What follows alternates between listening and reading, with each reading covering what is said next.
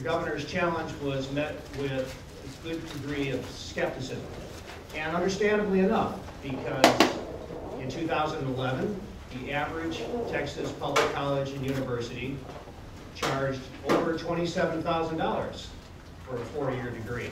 So to call for $10,000 degrees appeared uh, to be uh, a very iffy proposition. And the Austin American Statesman published story about the governor's speech in which the title of the, of the story really told uh, everything you needed to know about it. The title of the story was, Governor's Call for $10,000 Degrees Stumps Educators.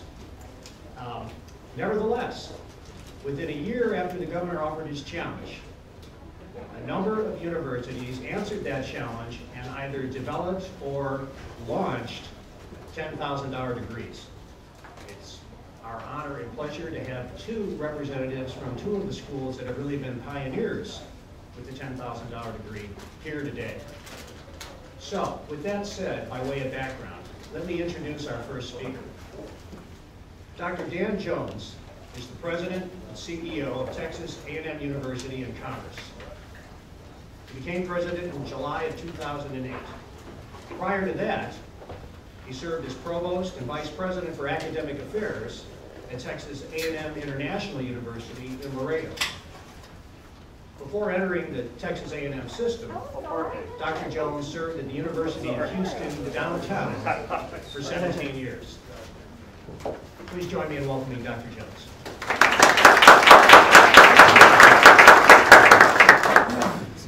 Well, thank you, and thank you for the invitation to be with you here today. This is, uh, it really is an honor to be able to share with you some of the great things that are happening at A&M Commerce. We're very proud of the work that we're doing on the uh, $10,000 degree. We're also just a little bit nervous and terrified by it, the truth. Not like Professor Ignanis to produce, but uh, uh, this is a pretty complex undertaking, but we really have a lot of faith that we're going to produce uh, some revolutionary results. When the governor issued his challenge to come up with a ten thousand dollar degree, um, it was correctly characterized as being met with skepticism. In the interest of full disclosure, I would have to say that I was among the skeptics. Uh, and I can remember joking to my colleagues at the time that a college degree ought to be worth more than an eight-year-old Ford F-150. Um, because, uh, it, you know, it opened up the doors to the future and so forth. Um, and since we have launched on this venture, I have been accused by uh, other colleagues of mine of, of selling my soul to the devil. I can live with that, I suppose. Um, really, uh, the, the turning point of A&M Commerce came when I took this challenge to the faculty. And I said, this is, you know, what uh, we have been challenged to do. Uh, is this something which you think we're up to? And uh, we have a group of very creative, very innovative, forward, uh, very forward-looking faculty and they said, let's see what we can do, let's see what we can come up with. I think that uh, the challenge is a real challenge, it's an important challenge. If we look at the fruits that have come to the nation from greater access and greater opportunity through, through education, uh, they are manifold. The, uh, the GI Bill was in many ways a turning point, not just for higher education in this country, but in the history of this country as well. Uh, we look at the, uh, the economic benefits that have come with opening the doors of higher education to more and more people. With the crisis of affordability that we are facing in higher education, we're going to have to meet this uh, issue of cost head on. Let me talk a little bit about our program. Uh, it has a lot of moving parts, and we are grateful. I want to acknowledge the efforts of Dr. Van Davis, uh, the coordinating board. I'll talk a little bit more about our partnership there in just a moment. But this is not the kind of a program that uh, we could get off the ground all by ourselves. Uh, it, it, involves a lot of consultation with colleagues, a lot of creative brainstorming, uh, and a lot of experimentation. The, uh, the Texas Affordable Baccalaureate program is the result at our university of a three-way partnership with Texas Higher Education Coordinating Board and South Texas College in DeKalb. And we were the fortunate recipients of an EDUCAUSE grant funded through the Bill and Melinda Gates Foundation that essentially provided the seed money to help us develop uh, the curriculum and the assessment instruments and so forth, all the needs that go with that. So it's a year-long process, and uh, we are at the front end of it now, and we're working hard. The, uh, the, uh, the uh, key ingredients here really boil down to three defining elements. One is competency-based instruction. And I'll talk a little bit more about each one of these in a moment. Secondly, this is a technology-enabled degree. It is not simply a technology-enhanced.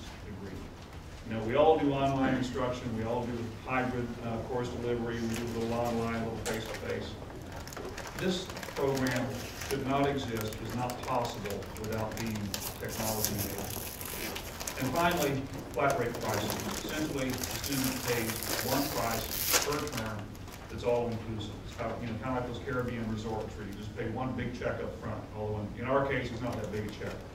So the student really is in control of the cost, and the student can move quickly through the program and keep the cost down. If the student moves more slowly through the program, then of course, the cost will go up. But essentially, the cost is in the control of the consumer. All right, now let me unpack each one of those a little bit. Competency-based instruction. This is a very simple concept. Basically, the idea is that academic credit is awarded based on what you know and what you can do as opposed to how long you sit in the classroom. Uh, the traditional model, you know, our, our entire funding model, higher education in, in this state, really throughout the world, is based on the idea that uh, you sit in a classroom for 45 hours, is what it is here in the state of Texas. Um, you expose yourself to instruction, and at the end of that time, you take a test and you either move on or you don't. Well, every student comes to the learning environment with a different set of skills and a different set of knowledge. So the idea is, if you come already knowing a lot of this stuff, you can move through pretty quickly. You don't have to sit in the seat uh, the entire 40, 45 hours. You take various assessment instruments. It's a very personalized degree plan. Uh, a lot of times when you think, uh, you know, you have a lot of technology stirred into the mix, that it becomes more uh, impersonal.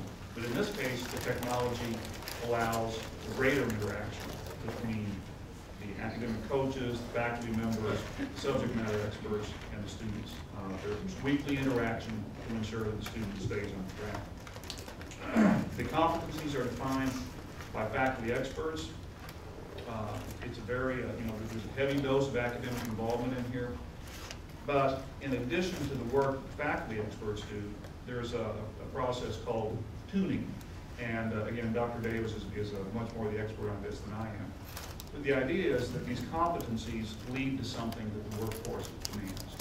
So the competencies are themselves the product of interaction between the academic world and the world of work. So that when students graduate, essentially they are certified as having the competencies, being able to demonstrate the learning outcomes that employers are looking for. So assessment of competence is critical to the academic integrity of the program.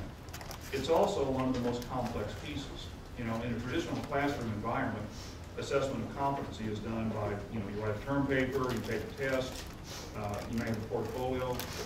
Well, those are all valid assessment measures, but they are not necessarily good assessments of outcomes, actual skills, actual applied knowledge. So a lot of the work that we're doing this year is focused on developing, you know, the myriad, really the universe of assessment instruments that, that it takes to ensure the academic integrity of the program. Fortunately, you know, we're not starting from scratch here. Uh, a lot of this work has already been done. Uh, we're looking very closely at Western Governors University, which is uh, operating here in the state of Texas. This is, they, they adopt a competency-based model. So there, there's a lot of research and a lot of uh, best practices out there that we can draw on. Okay, secondly, um, technology enabled. Well, so I mentioned technology is not just an enhancement or an add-on. Technology is, is baked into the program. Uh, technology provides the means of interaction between the student, the advisors, the mentors, the faculty members. Uh, really, there's an entire instructional team that is devoted to each student's progress. Uh, so it's, it's a very different kind of a model than in a traditional classroom environment where, you know, much like this, you got one person talking to a group of people. This really kind of reverses that, that paradigm. You have one student and a team of people who are monitoring the progress of that student, advising him or her of their progress and so forth. So, and the technology, again, is the key. Uh, it wouldn't work any other way. um, it's not just for the delivery of content. You know, in the, in the world that we live in today, uh, you don't have to pay, what is it, $27,000 to go to the university to buy content. I mean, the content is out there. It's freely available. All, of you, uh, probably heard of massive online open courses. Um, A couple of startup companies basically are providing all the content for free. If you've been to the Khan Academy online, uh, the knowledge is out there. You don't have to pay an instructor to teach you the stuff. But you do have to engage an academic institution in order to certify the competencies that you have acquired as a result of the process. And finally, uh, flat rate pricing. Um, The um, traditional, at least in the state of Texas, the traditional academic calendar is a a fall semester, a spring semester, and then, you know, take a little extra stuff in the summer. Um, This is based on a series of six, seven-week terms, so it's kind of a carousel model. Uh, A new term starts every six weeks, or every seven weeks, and you pay a flat rate of six hundred and eighty-three dollars per term, and it's all inclusive. So you get the instruction, you get content, the coaching, the advising, the mentoring, as well as all of the instructional materials. So, uh, and they're all electronic. Um, One thing that uh, we're working on at A&M Commerce is the concept of shredded textbooks, and this is a way to keep instruction costs down. Um, I'm sure that all of you, at some point in your college career, had to buy a book and you were only assigned to read one chapter, and you felt a little ripped off as a result, and, you know, probably still sitting on your bookshelf, and every time you see it, you get a little bit irritated. The shredded textbook basically takes bits and pieces so that you buy only what you need. Now, this has to be done in partnership with publishers. It's, it's not something that, you know, the university can just do on its own. So we're working with publishers to help develop that concept. Um, Well, again, there, there's a lot more moving parts to it than that, but uh, that kind of gives a quick overview. Once again, it all comes back to access and opportunity. Uh, This is a way of extending the benefits of higher education to those who are in control of the future. Thank you very much.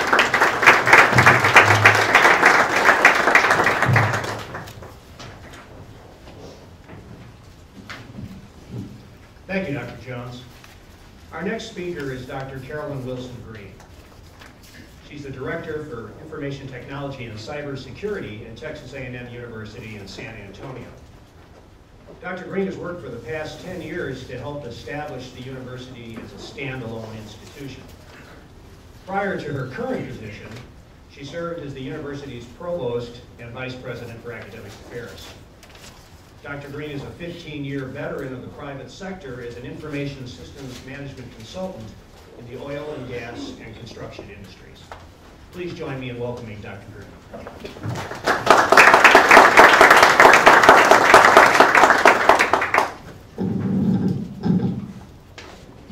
not quite so tall.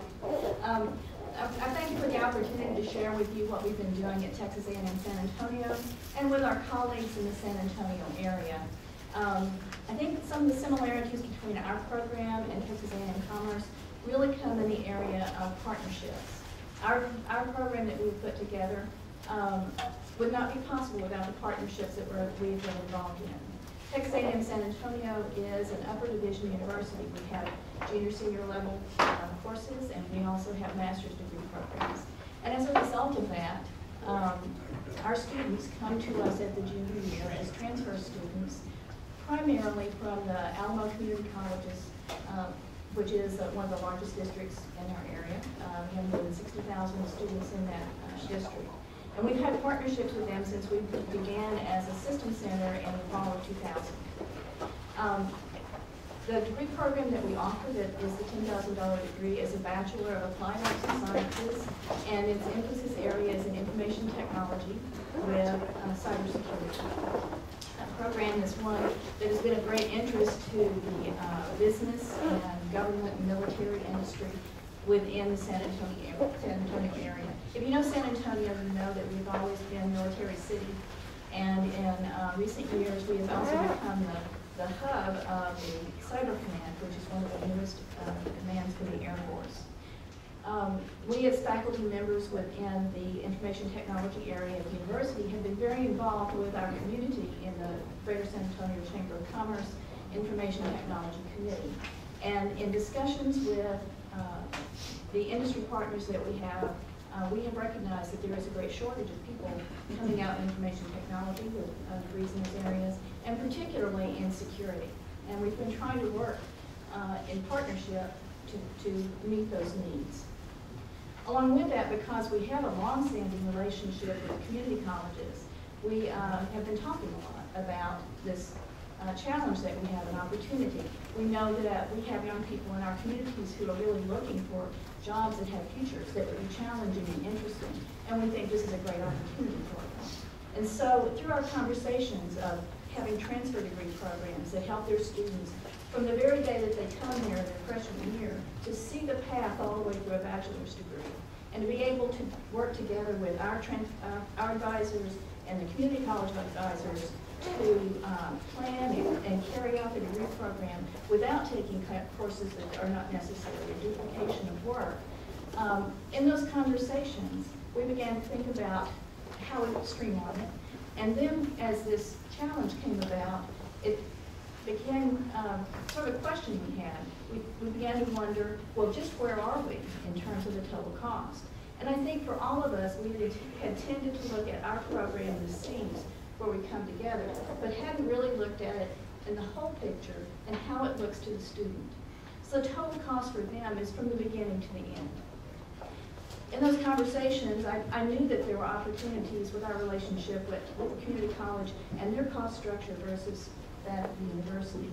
But what I hadn't realized is how deep their relationships were with high schools. And so we began to talk about their programs in dual credit. They, one of the things that uh, we have in San Antonio is uh, the Information Technology and Security Academy, which is a high school program. And students from uh, high schools throughout the city are able to participate in this program and they are trained in uh, information security. It's a technical field, but it's very skilled and technical field, and it's one that has a significant uh, opportunity for advancement beyond an associate's degree, not only beyond that, but into master's degrees and beyond. And um, so we saw that, and we saw the high school program. And then they began to share about what they were doing in dual credit with early college high school academies. From that, we, we sat down, and we looked at them, and a way that students could take advantage of all those opportunities along that pipeline.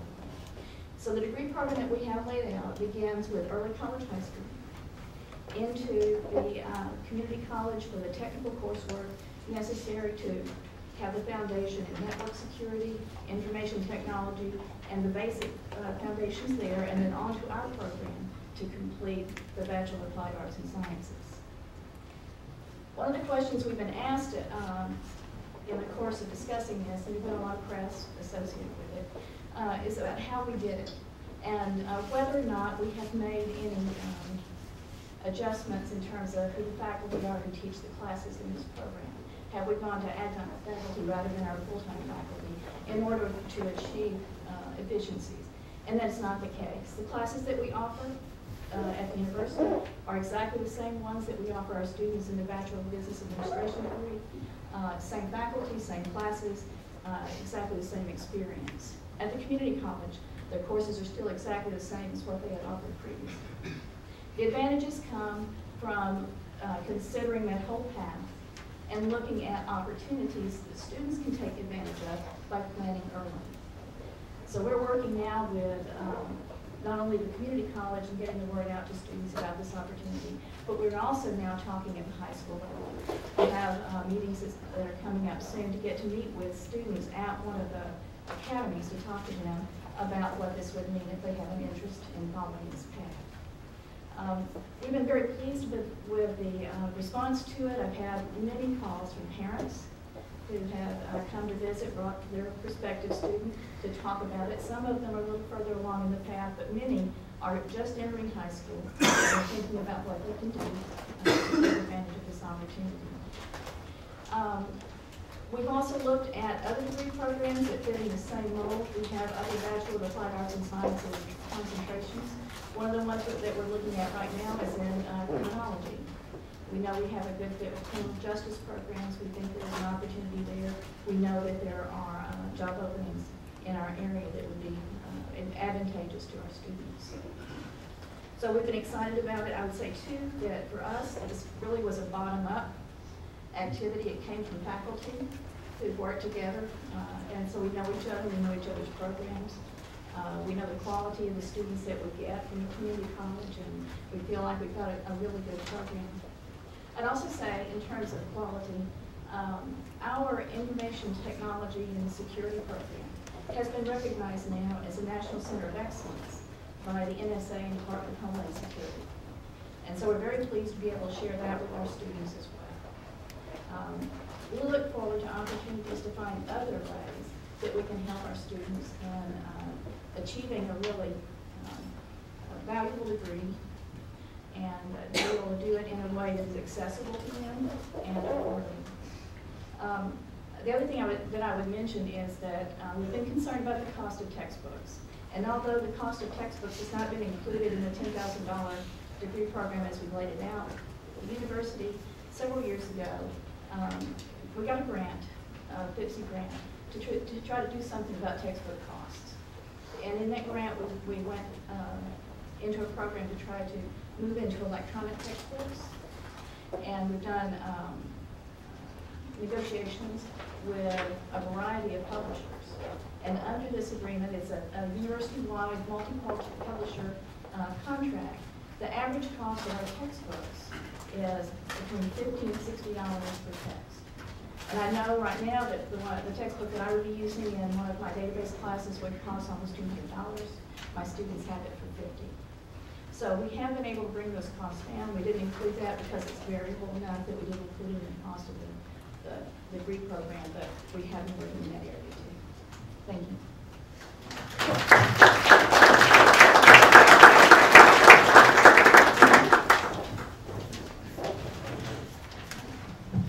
Thank you, Dr. Green. Our next speaker is Dr. Ann McGlashan.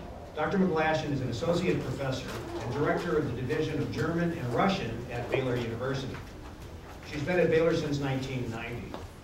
Dr. McGlashan was recently elected president of the Texas chapter of the American Association of University Professors. Please join me in welcoming Dr. McGlashan.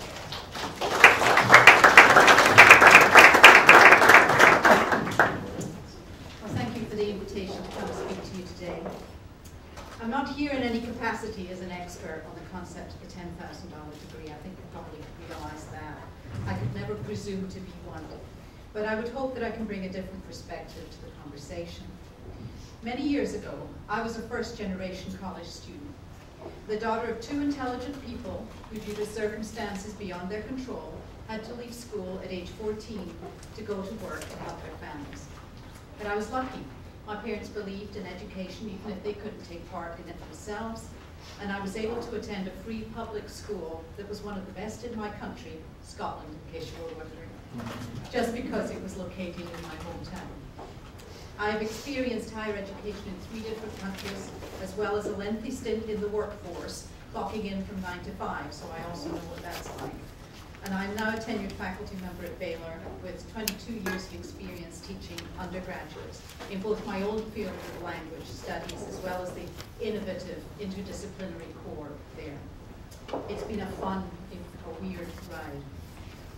First, let me say that although many people will try to convince you that faculty members are dinosaurs, obstacles that have to be outmaneuvered if anything is to happen in higher education, it's not always the case, and especially not the case when it comes to trying to make higher ed uh, more accessible and especially more affordable.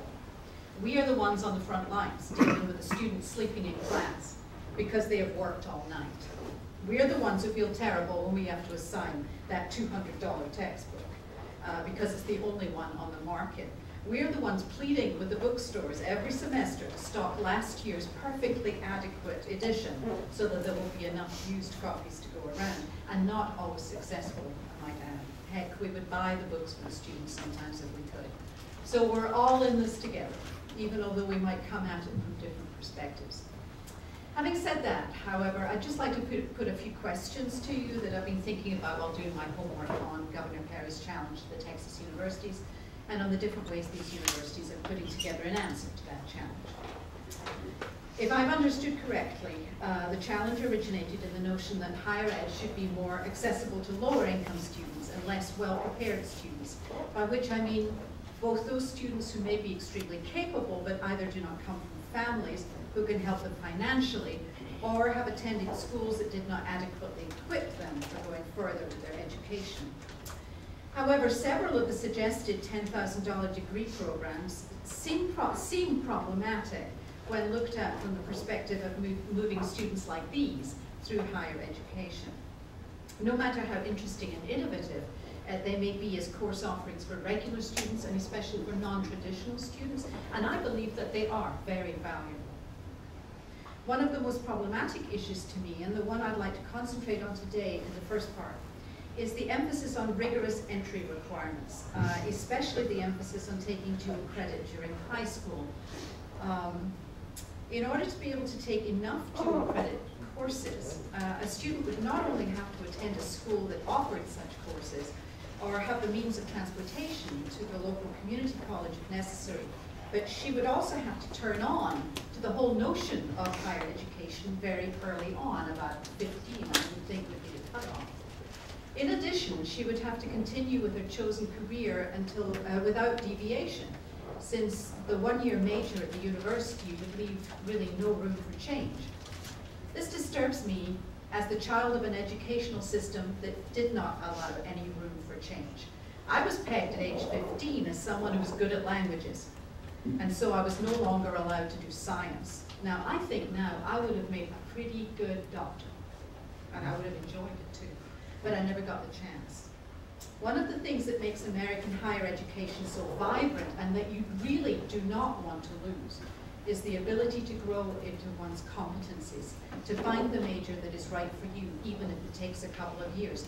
How many of you graduated with the same major as you signed up for as freshmen? A few okay. Going back to our student in the $10,000 degree, she would find you have to be motivated and prepared, and let's face it, smart enough to be able to keep to a grueling schedule of completing 36 upper level major hours in one year, a feat that many of my students at Baylor, even those with the most supportive backgrounds, could not manage. For a truly motivated student who has matured early and who knows what she wants, I can definitely see the value in this. But would this really make college more affordable and accessible to those students who are not well prepared? Who have parents for whom college is a completely unknown quantity? Whose only access to online classes would be in a crowded public library? And who attend schools that can only dream of being able to afford to offer a dual credit and AP courses? As much as we want to believe that any student can complete such a rigorous course within four years, we have to admit that not all of them can, and many due to no fault of their own. Yet within these numbers of underprepared students are hiding so many who could become doctors, scientists, nonprofit leaders, and we still have to find a way to let less prepared students have what more prepared students already have, the ability to find their competencies and grow into their mental capacities, an ability that only comes with maturity and the possibility of choice. And that means reducing the cost for normal four-year degrees alongside the $10,000 degrees. So, how do we do that? I don't know. And I but I believe that an answer might be found by working together, both administrations and faculty members. And we have to start thinking outside the box. I've heard and read a lot of easy answers recently, and I hear them over and over again. And the main one is just get rid of tenured professors like me and staff the university with cheaper adjuncts who will work for less pay. This will bring down costs. After all, the world is a different place now, and we don't need face-to-face -face education in brick and mortar institutions anymore, now that university education can be unbundled and any software company worth its salt can bring people together as they sit at home and read their e-textbooks online. Yes, I agree, the world is a different place today. And for many non-traditional students, we definitely have to be thinking of new ways of delivering. But I don't believe that the average 18-year-old has changed that much. I teach freshmen and I teach seniors, and sometimes the same ones four years later. The difference that four years of challenge makes, uh, brings to these students can be phenomenal. And it doesn't matter by then whether a student was prepared or unprepared, they can both succeed. A colleague of mine teaches a course in Middle East Studies, and last week, after the tragic loss of the American ambassador, he set up scenario where he split the class into several groups. Advisors to Governor Romney, advisors to President Obama, advisors to the Muslim Brotherhood, and State Department employees. The interaction, and I heard this from the students, was electric, and each came out with a better perspective on the other's problems. That's what face-to-face education can do. Nor do I think that American businesses have changed that much. Even if these students never go into diplomacy, they will be invaluable assets to a boss with business problems to solve. But couldn't we do this kind of education with adjuncts? People who would teach one class a semester for about $3,000 a pop? Ask the students, who's going to be there to advise them? Who's going to write the recommendation for them for medical school? To help them get internships? To listen to them when they get depressed? And yes, we do that more than you'd like to think. Who would be there who knows them and knows their potential? And I would ask another question. In a world where higher education classes are taught class by class by people who cannot make enough to feed their families, who have no health benefits, no job security, no way to pay back their own student loans, are the best and brightest going to go into higher ed teaching? In a generation or two, who is going to be teaching your grandchildren? So, we- let's talk about $10,000 degrees alongside reducing costs for traditional four-year degrees. And let's start getting together to hash out how we're going to continue educating our children, not just for a job, but for life. And that includes our underprepared children. Let's put everything on the table and not just the easy targets. Let's talk bureaucracy, student life, whether or not we should reduce the emphasis on research and put more experienced faculty back in the classroom. But at the same time, let's talk about putting the brakes on the veneration of the top tier position in US News and World Report, uh, the holy grail of academia. And let's talk, dare I say it, athletics. Let's put everything on the table. Let's lay competitiveness aside for a while think outside the box and ask your faculty to help because we're willing. Thank you very much.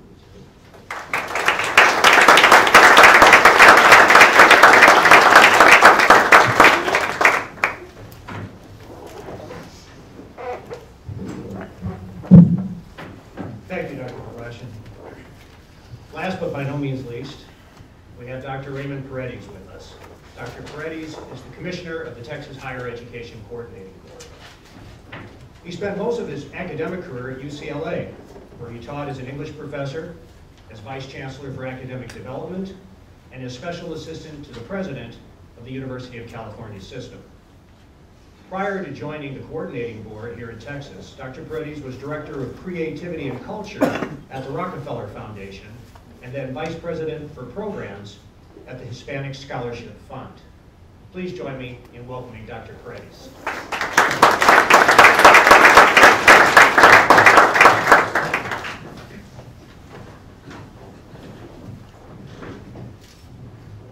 What I would like to do is uh, provide a little bit of context for this $10,000 baccalaureate degree, and also talk about uh, some of the, um, some of the issues related to the uh, $10,000 baccalaureate in the context of larger issues in higher education. First of all, here's some facts that, uh, that are, that are urgently in need of attention. The Cost of higher education has been going up dramatically in Texas uh, for uh, the past 20 years. Uh, What is happening in Texas, what has happened in Texas follows a national pattern.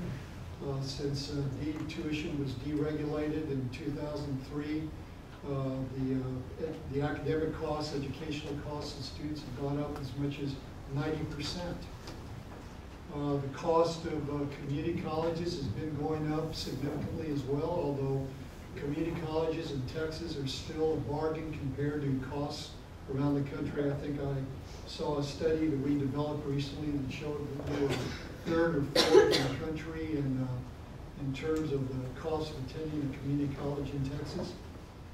Um, We are in a situation where we are still severely under competitive uh, compared to other states in terms of educational attainment. Uh, We are eighth among the 10 largest states in terms of higher education participation, and I'm talking about both community colleges and universities. And uh, there have been a lot of studies, some that have been done by the the Texas Business Leadership Council, for example, demonstrate that Texas will not be competitive um, either nationally or internationally unless we dramatically improve higher educational attainment in this state.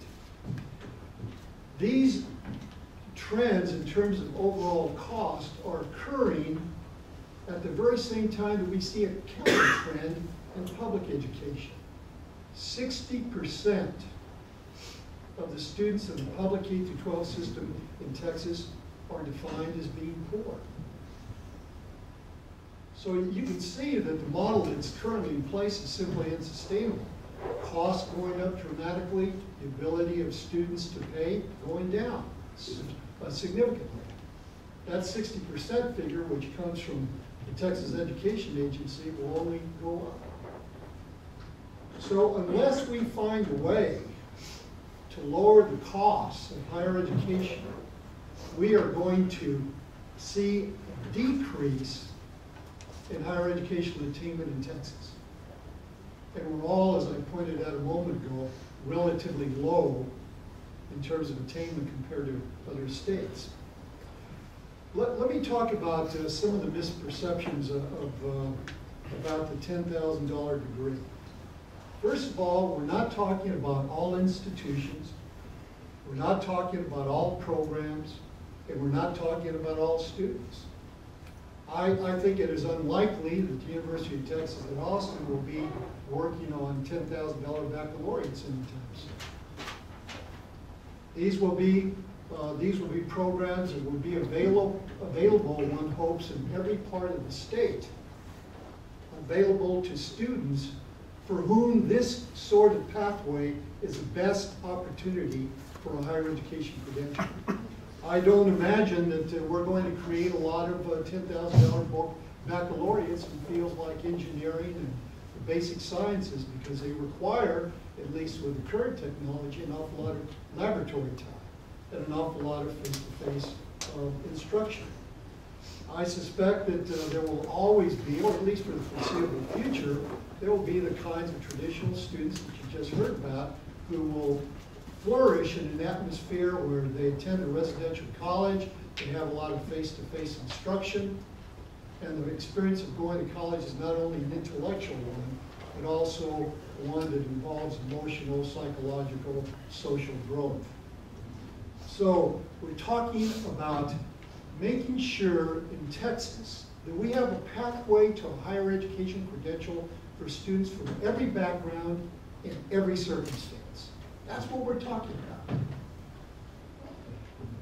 We, uh, in the, the, the uh, program that's being developed at uh, Commerce and South Texas College that you heard President Jones talk about a moment ago, uh, we focused on one particular discipline. We're going to offer a baccalaureate organizational leadership. It's a general studies degree which provides students broad liberal education as well as very specific skills in job-related fields. We want this to be a degree that makes students work-ready as soon as they, they're awarded their baccalaureate. We are going to monitor the quality of these programs. We are going to make sure that uh, students are uh, well instructed. We want to make sure that they're workforce ready. And we want to make sure that at the end of the completion of this program, that we can demonstrate and document rigorous learning outcomes. I suspect that this will be a program that doesn't appeal to students that are coming out straight out of high school.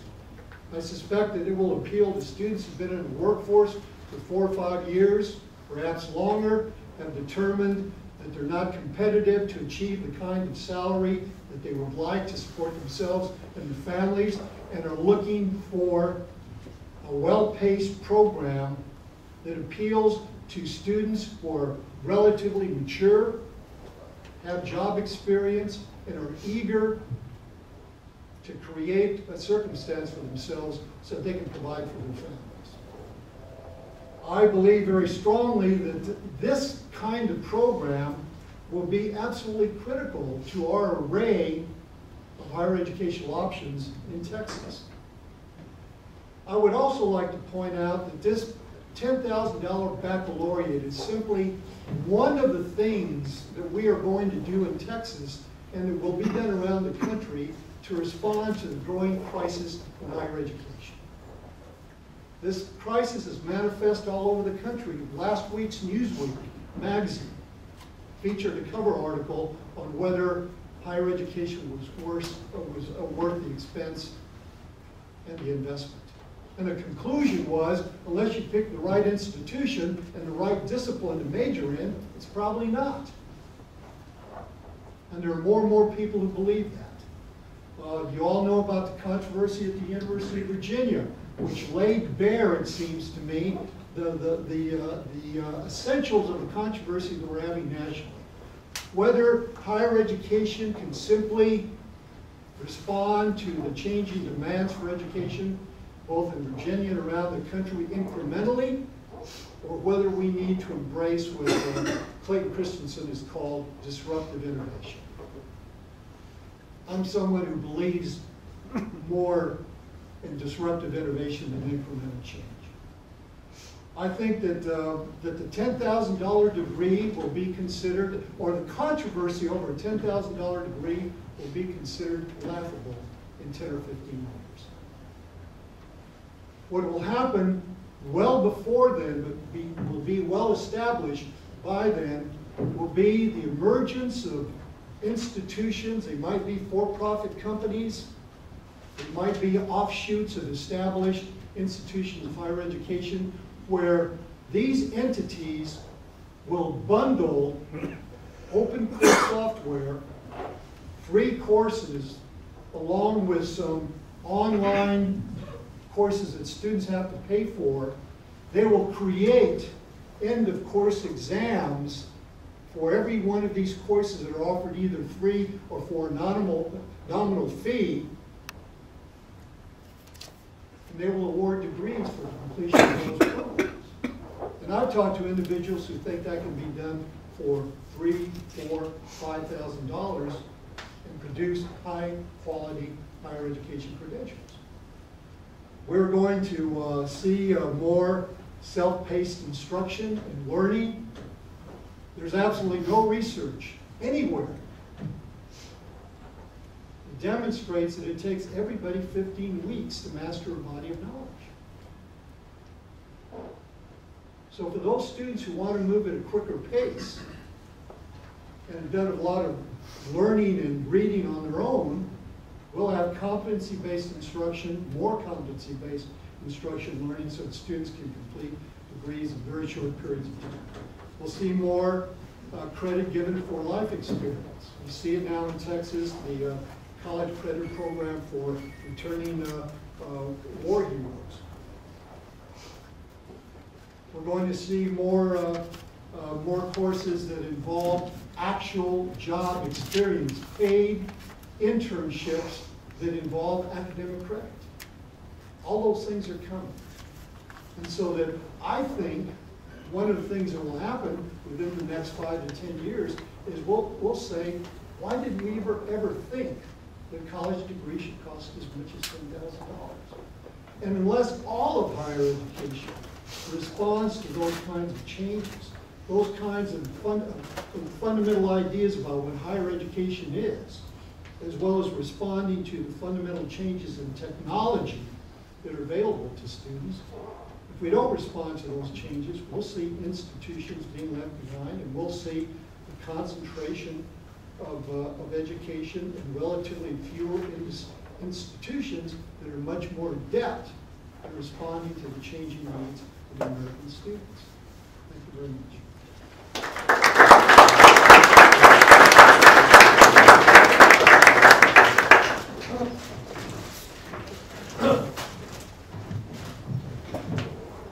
Thank you, Dr. Paredes, and and thank you to all of our speakers.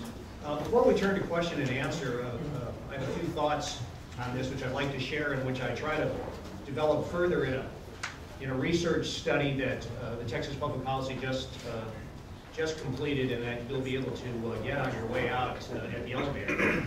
I did a research study on the $10,000 degree, and I call it Anatomy of a Revolution question mark. And uh, the points that I try to make in it are this. Picking up from the governor's challenge in February of 2011, at first, there was, as, as I mentioned, a good degree of skepticism, and understandably enough, that this could be done. And then when schools such as uh, uh, those that we've, uh, uh, from whom we've heard presentations actually came up with such degrees, the next response, um, that didn't stop the criticism. Criticism then became, it took, it took a number of fronts, uh, and all valid concerns. One, that, that the universities were offering $10,000 degrees, but they hadn't really reduced their costs to $10,000. They had simply moved uh, uh, costs around. Um, and also that, also another criticism was that this could not answer the scalability uh, uh, request of the governor. The governor, in, in, an, in an appendix to his uh, initial request for a $10,000 degree, said he wanted this to be available to 10% of Texas public college and university students. And the argument was that even those programs which had done this pioneering work, such as uh, uh, two that we have here uh, today, that this was not replicable. Um, by my lights, uh, this criticism may miss the larger point. And that's this.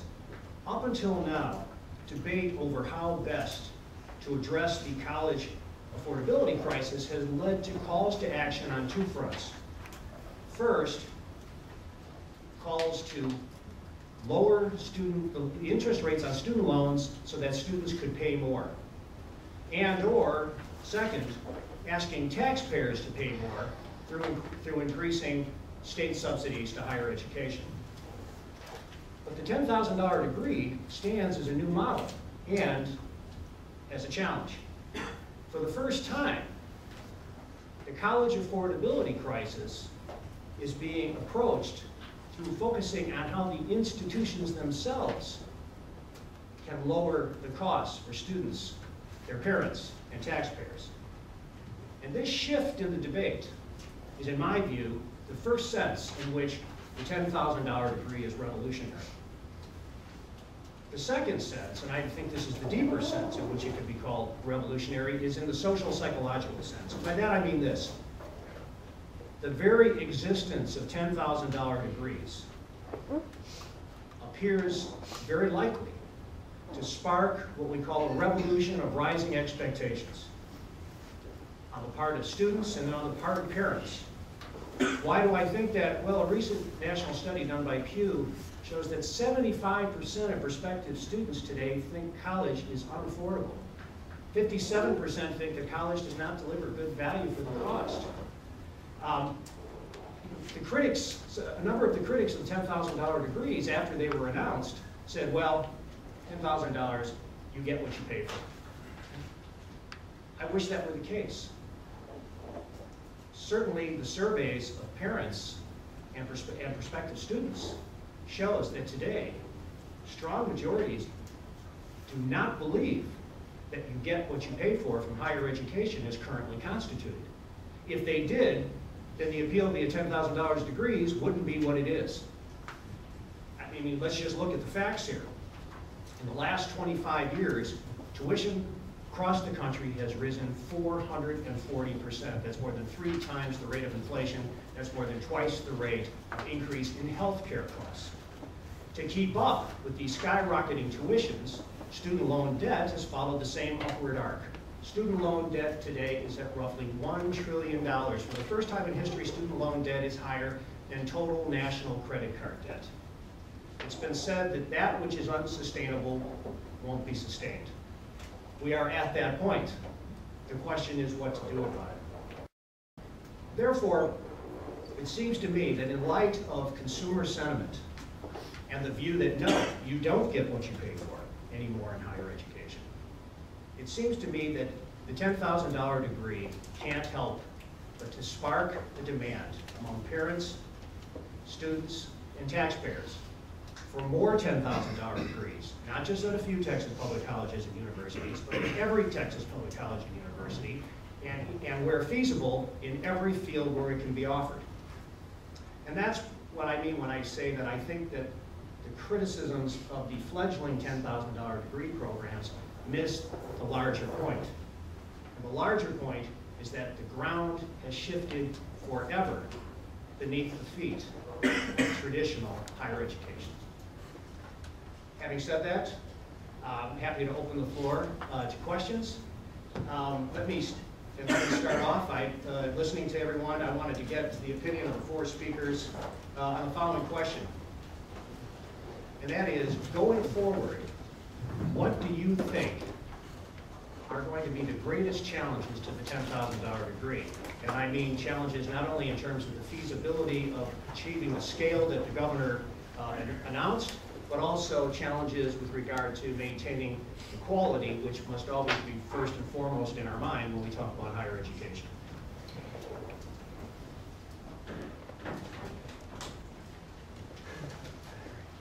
Any of the four of you?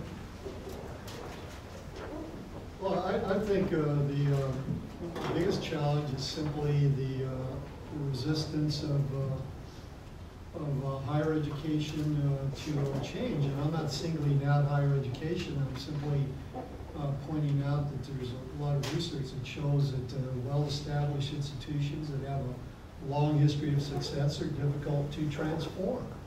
Um, And what, what I fear will happen is that um, is that the transformation of, uh, of public higher education in this country and uh, conventional private higher education will lag behind uh, technological innovation. And uh, as I said, there are an awful lot of companies out there that are doing some pretty extraordinary things in delivering higher education content. And I fear that there might be a migration of uh, students to those kinds of uh, delivery methods for higher education and the conventional uh, institution of higher education, whether it's a two or four-year institution, whether it's a public or private institution, will find themselves uh, struggling for survival. I want to preserve the Baylor's, uh, the, the UT Austins, uh, the residential universities of the world uh, for certain kinds of students. But I worry that if they don't respond to change quickly enough, that uh, they'll be uh, they'll be put out of uh, put out of business. Any others like to respond? Yeah, I, let me follow on that. This is kind of an extension of the same sentiment, and it has to do with the role of the faculty going forward. The faculty are critical to the success of any academic program offered by any university. And I think uh, you heard Dr. McClatchin uh, articulate some of the concerns of some of the faculty. Uh, and I hear this all the time. And the idea is that uh, we we seem to be going in a direction in which knowledge is, is, uh, is commodified and becomes devoid of faculty. Uh, that basically, the faculty are no longer involved in the instructional process uh, and therefore are no longer valued members of the academic community. And I think that they, uh, that, that's not an irrational fear on their part. Um, I think there are ways of managing that. I think there are ways of involving them in the process. But that's where, um, that's where leadership has to play a, critical role. We have to ensure that the faculty are along for the ride um, in this reform and reinvention process. Otherwise, um, the knowledge itself will become kind of a dead and lifeless thing. It'll just become something that exists on CDs and, and you can log on to and get in the internet. The faculty involvement is still critical to both the instructional process as well as the integrity of the academic community.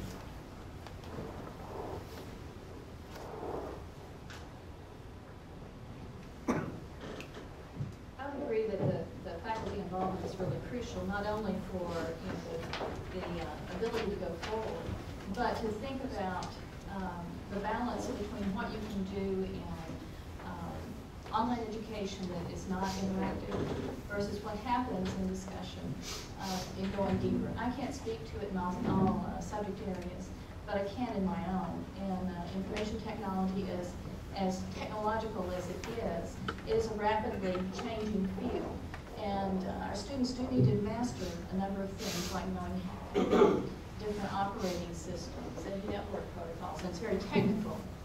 But um,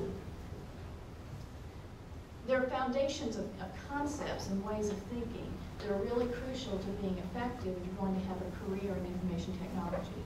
Learning to think about things as systems, to, to question, and to uh, look at problems in a different way requires discussion.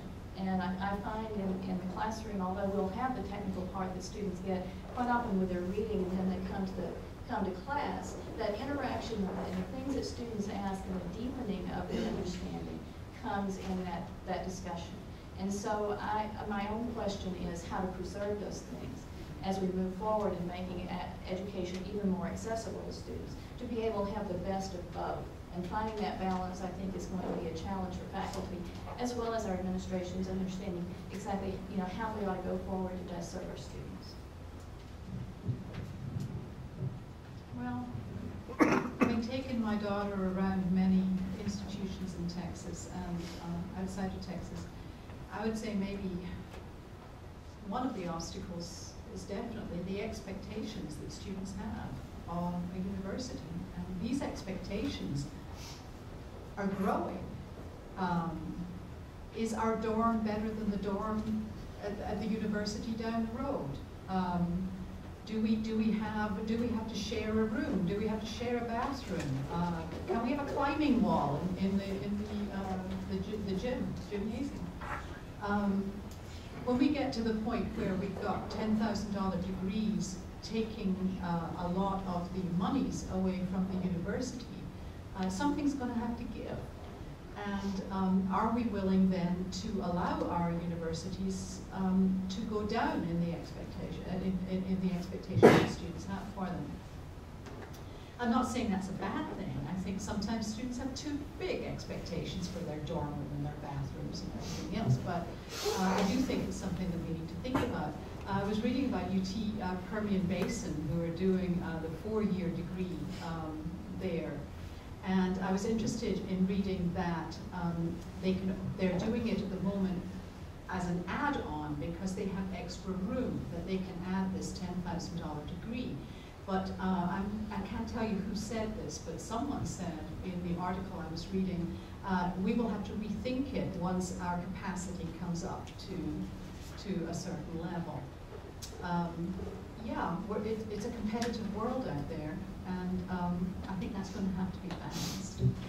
Uh, Just to follow up on that, I, I- I think that's right, you referred to, we call the uh, academic amenities arms race. And I mean, I, I know that my wife and I, when we took uh, our son to college, his freshman year, that the uh, dorm into which he moved was better than the apartment in which we moved when we were married.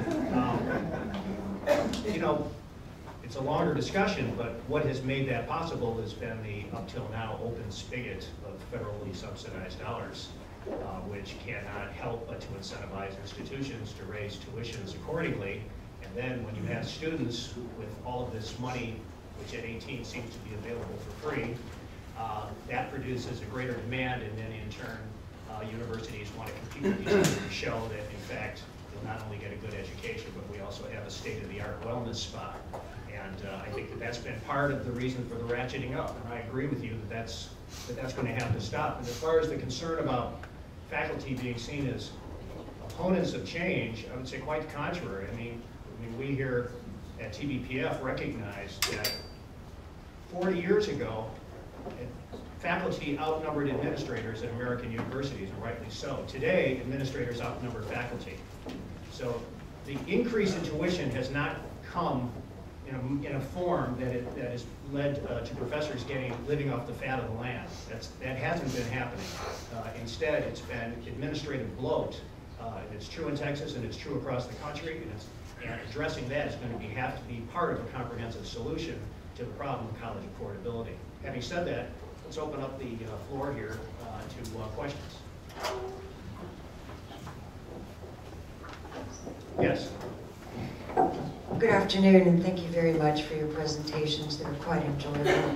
My name is Samia El-Badri. I come to you as a professor and as a parent. Let me start with being a parent first.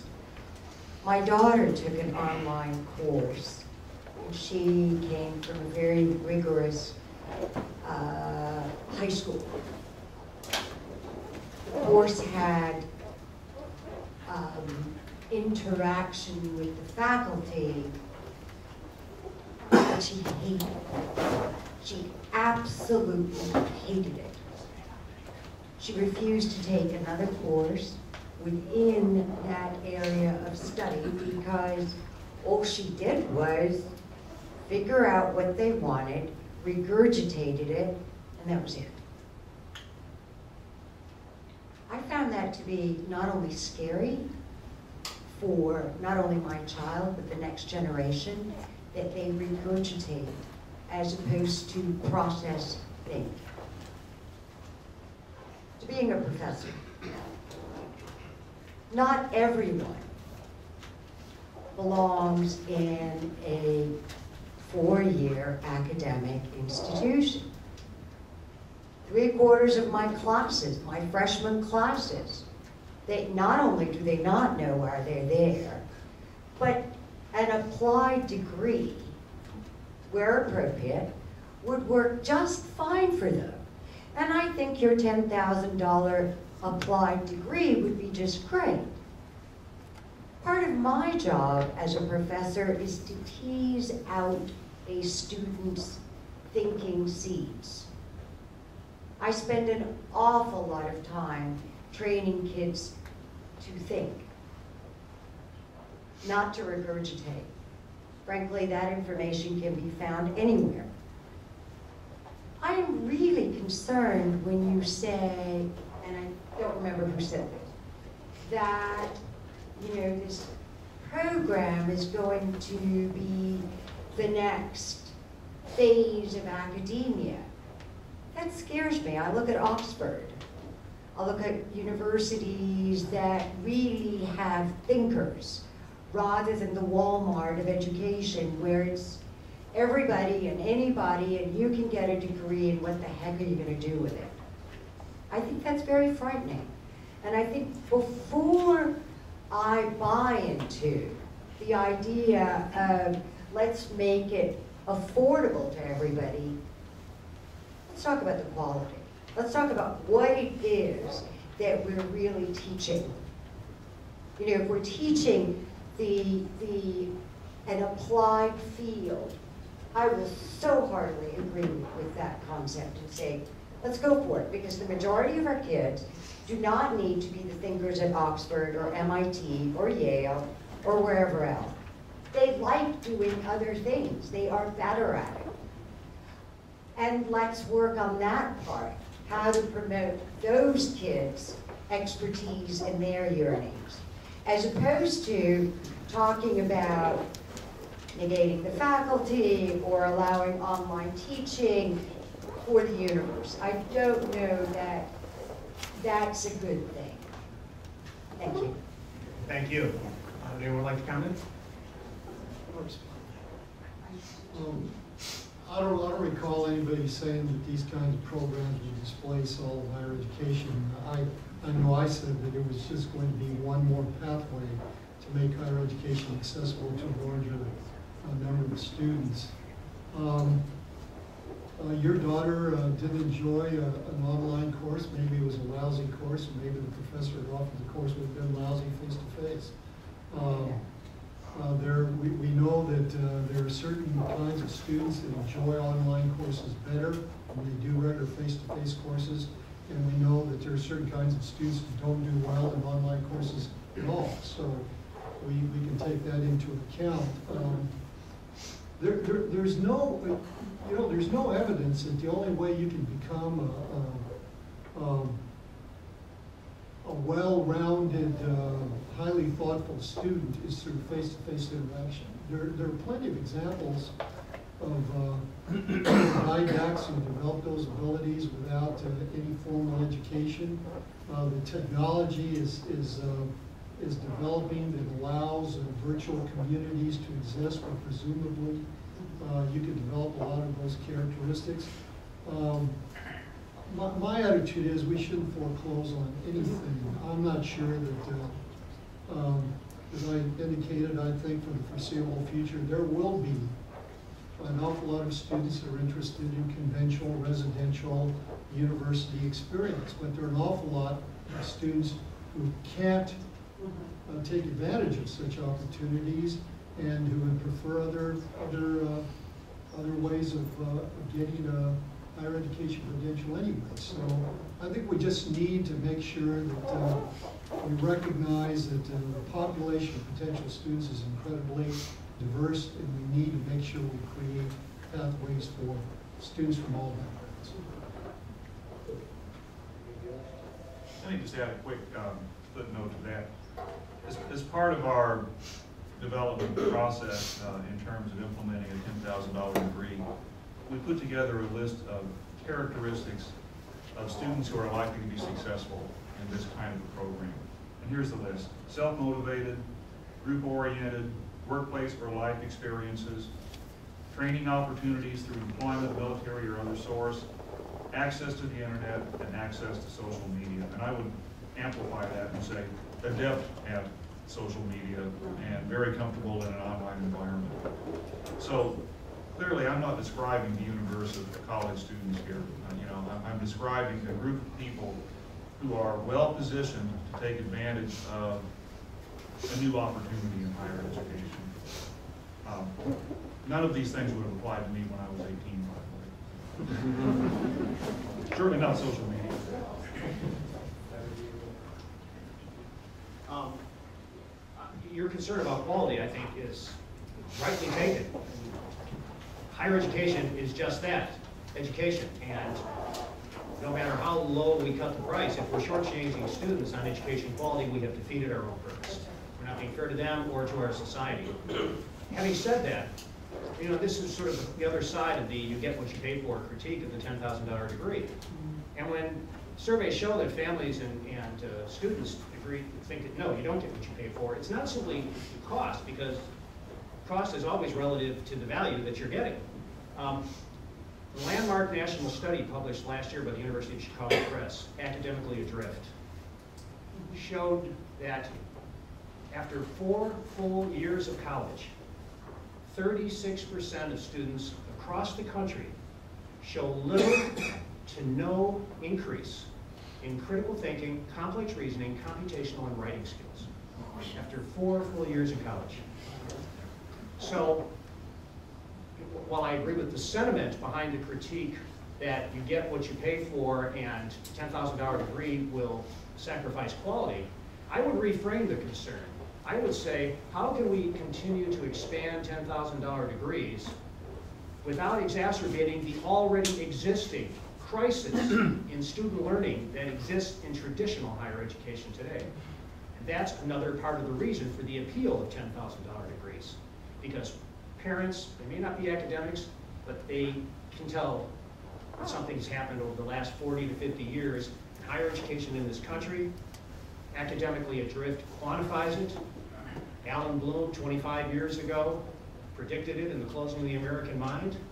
So the popularity of the ten thousand dollar degrees really amounts to this.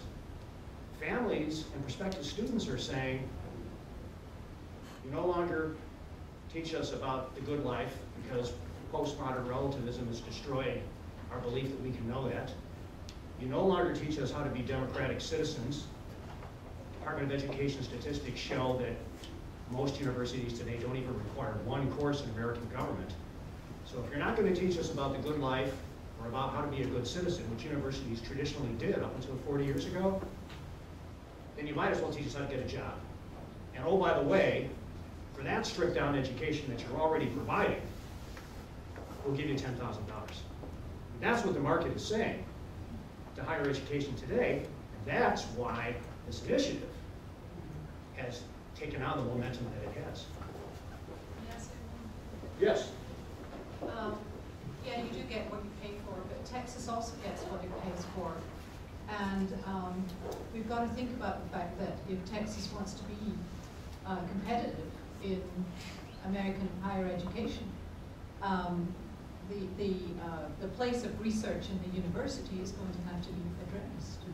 Um, I mean, when, when you're talking about the, the failure of uh, faculty to teach, to somehow bring on thirty-six percent of the, of the student population, um, why might that be? Where might the faculty actually be? And they are, are, are, they're chasing the research dollars, and they're chasing the research dollars so that uh, universities like Texas A&M uh, and uh, UT can move into the top 50. Because if they don't move into the top 50 in US News and World Report, Texas lags behind, and uh, the, com the competition is lost. So I think it's a much, much bigger problem than simply um, that we're not educating 36% of the student population. I couldn't agree with you more. Um, Faculty are only responding to the incentives provided for them by the institutions. And it just shows the depth of the crisis in higher education.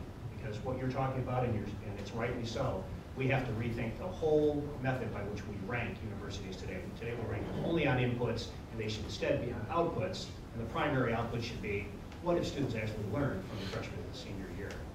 Other questions?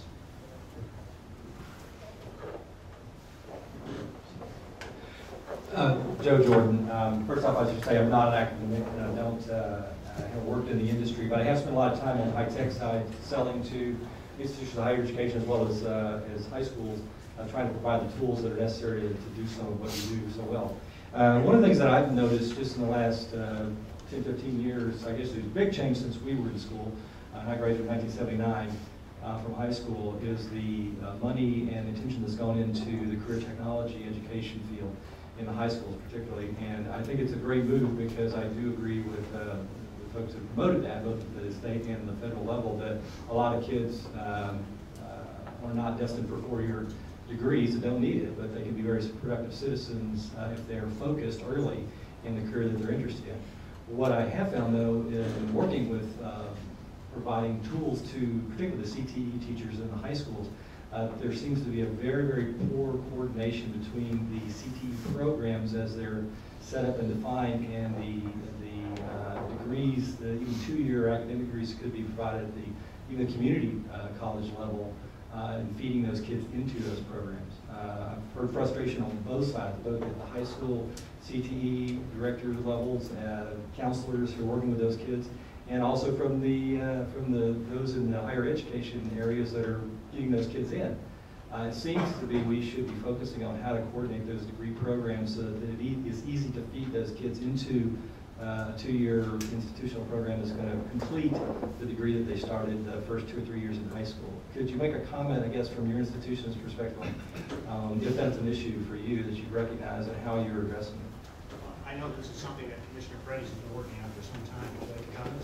So the, the, uh, the issue is, is not CTE in high school and, and uh, CTE in community college. The same thing applies to academic programs. There, there's not effective communication between K 12 sector and higher education in Texas or anywhere else in the country.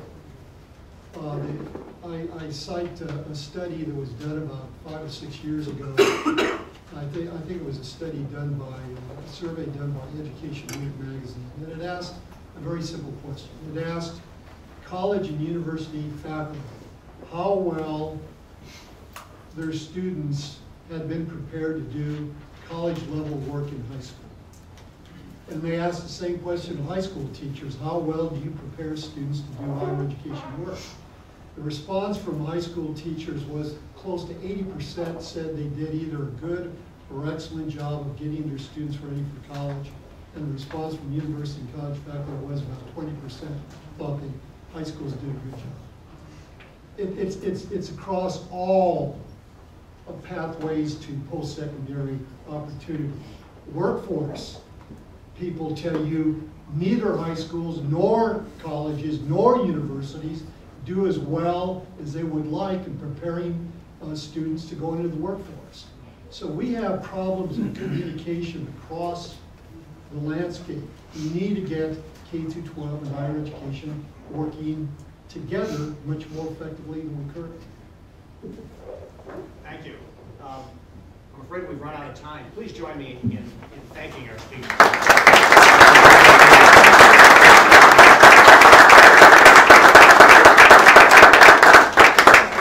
Please be sure to fill out your evaluation.